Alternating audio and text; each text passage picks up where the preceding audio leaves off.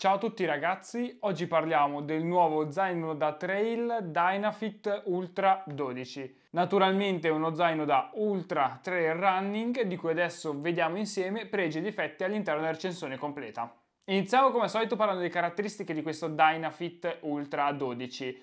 Naturalmente un litraggio di 12 litri ed è l'unico litraggio disponibile sono disponibili invece diverse taglie XS, ML e taglia XL.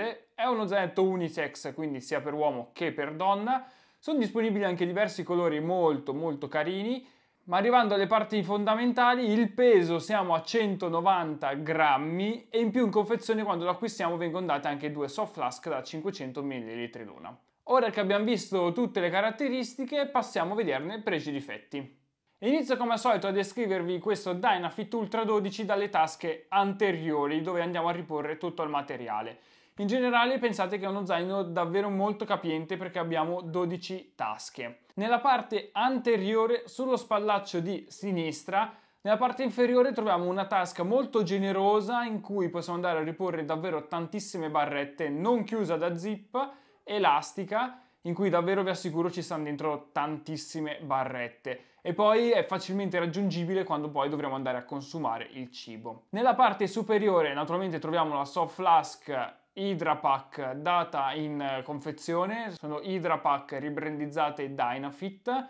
E sulla parte superiore dove va il beccuccio della nostra soft flask c'è anche un cordino per andare a tenerla ferma, quindi perfetto perché così la soft flask anche da mezza vuota non balla. Sempre sullo spallaccio di sinistra, nella parte superiore, quindi che va praticamente in alto alla nostra scapola, c'è una taschina chiusa da zip che possiamo utilizzare per metterci magari i fazzoletti, anche se in gara di solito sulle Ultra viene dato il GPS e quella è la taschina perfetta dove andare a riposizionarlo, proprio pensata apposta. Sullo spallaccio di destra invece iniziando dall'alto troviamo un fischietto d'emergenza che di solito fa parte del materiale obbligatorio Scendendo anche qua la stessa soft flask con la stessa tipo di chiusura di quella che vi ho descritto prima e poi nella parte inferiore qui invece di trovare una singola tasca ne troviamo due. Una tasca simile a quella che abbiamo visto sullo spallaccio di sinistra dove andare a riporre il nostro cibo, dei fazzoletti, comunque quello che dobbiamo portarci dietro. E poi nella parte frontale di questa tasca c'è una zip dove andare a richiudere il telefono.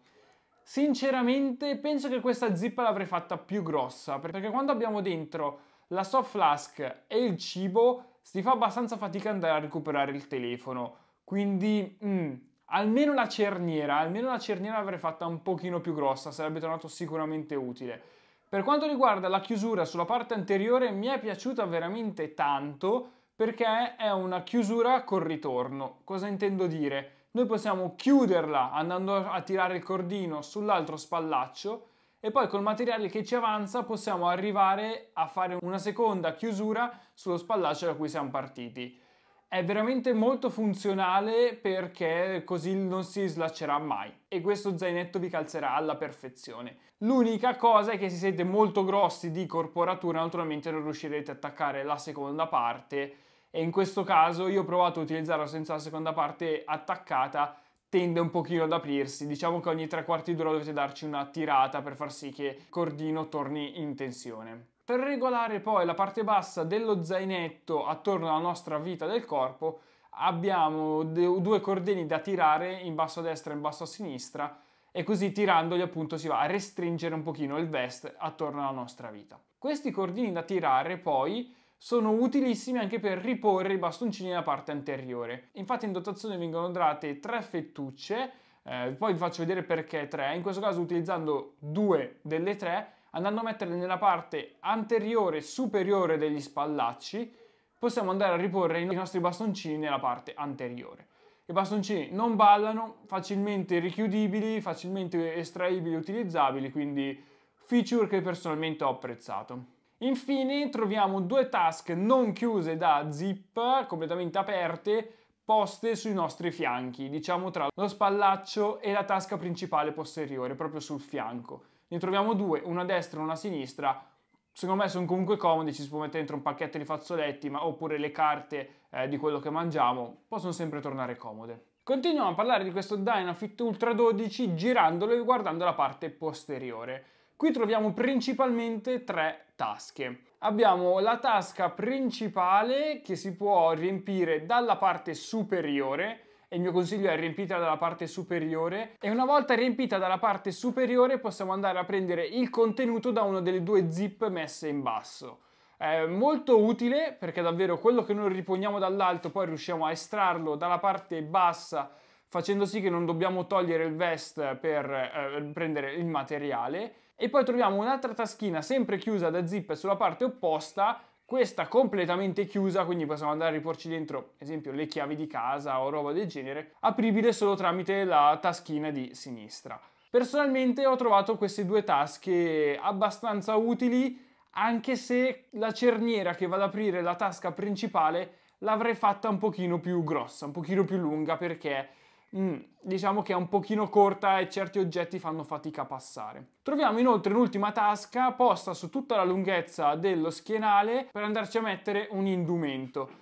Faccio un esempio, la giacca impermeabile, perché così davvero a quel punto tirandola dal basso riusciamo a estrarla senza dover obbligatoriamente togliere il vest. Sinceramente queste tre tasche mi sono piaciute, ci vuole un pochettino a capire come utilizzarle e come preparare questo vest perché sono un po' particolari, però se riusciamo a utilizzarle bene e a mettere gli oggetti nei giusti punti, davvero si dimostra uno zainetto fatto molto molto bene, ingegnerizzato bene. Sempre nella parte posteriore poi troviamo in dotazione queste cinghie che qua vedete in colore rosa, dove poi possiamo andare a riporre nella parte esterna un qualche indumento, qualcosa, e utilizzando le tre fettucce che vi dicevo prima date in dotazione possiamo riporre i bastoncini nella parte posteriore, cioè facendo una forma di V, in questo modo potremo trasportarle dietro facilmente, non ballano, naturalmente per utilizzarli poi dovremo togliere il vest per prenderli, però comunque mi piace questa doppia funzione di poter portare i bastoncini sia sull'anteriore sia sul posteriore.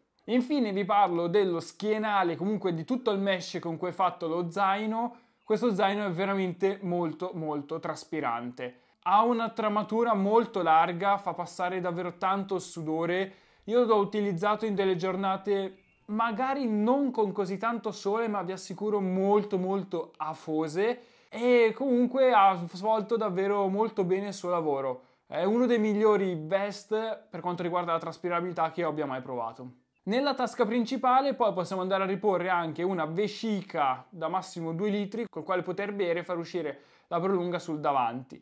E sempre dove va la vescica, Dynafit dà in dotazione anche un piccolo astuccino in plastica eh, su cui sono andate a riporre tutte le indicazioni per poter chiamare soccorsi in montagna e questo astuccino, se vorrete utilizzarlo, può tornare utile per metterci qualcosa che vogliamo tenere all'asciutto dal sudore, esempio un telefono o comunque dei documenti cartacei. Ma in generale come lavora questo vest? Secondo me lavora molto bene, davvero sta molto attaccato al corpo, eh, non balla per nulla, anche da completamente pieno. Io ho voluto caricarlo con 4 kg, vi assicuro che se resta davvero fermo, i bastoncini restano fermi, eh, lo si può davvero calzare come una seconda pelle, quindi mi è piaciuto. Poi la trasportabilità, come vi dicevo, promossa.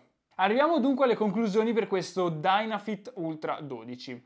Ve lo consiglio? Sì. Sì, anche perché non viene venduto a un prezzo eccessivamente alto. Sito Dynafit siamo sui 130 euro, online lo troviamo sui 100-110. Secondo me ci sta, è davvero un ottimo prezzo, cioè il prezzo è giusto per quello che andiamo a comprare, anzi diciamo che se fosse costato anche un pelino di più sarebbe comunque stato giustificato. È un prodotto che a me è piaciuto molto, un prodotto che consiglio praticamente a chiunque, sia dal principiante che all'esperto che fa gare anche di ultra, ultra, ultra. Quindi sì, davvero io mi ci sono trovato bene e ve lo consiglio fortemente. Detto ciò ragazzi, una speranza essere stato esauriente e esaustivo anche per questa recensione, vi ringrazio per la guardata e noi ci vediamo alla prossima. Ciao!